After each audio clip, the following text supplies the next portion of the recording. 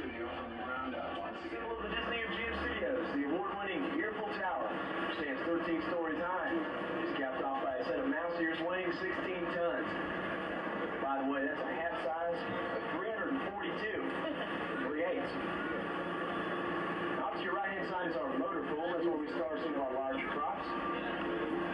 Those futuristic-looking cars used in the film Blade Runner, starring Harrison Ford. That red Coyote car was used in the television series Hardcastle car with the green spokes was in the film The Untouchables, starring Sean Connery and Kevin Costner.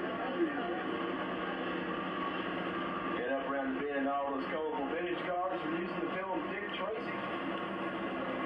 Now across the street on the left are our bungalows, where we house the production crews that are working at the studios.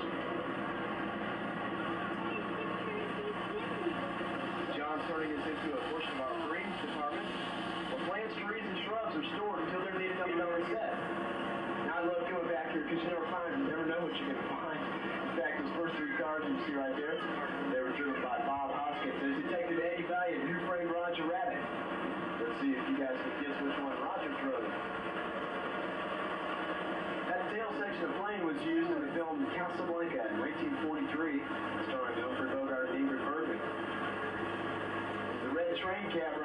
in the film Tough Guy, starring Burt Lancaster and Kirk Douglas.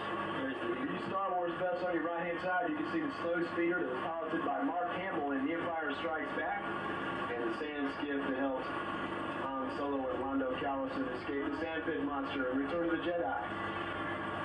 We also have two of the space pods from the 1986 film The Flight of the Navigator. And that old keelboat right there was used in a Disney film called The Treasure of Matecumbe, starring Peter Ustinov. Portions of that film were shot on Bay Lake right beside the contemporary resort. This red and orange trolley car right here was used in the hit film Who Framed Roger Rabbit. And actually that trolley car is a modified bus. If you notice, those trolley wheels are actually carefully concealed coverings for the bus tires underneath.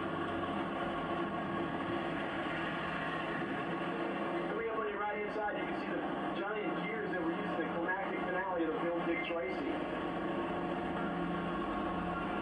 And this last prop on the right hand side was used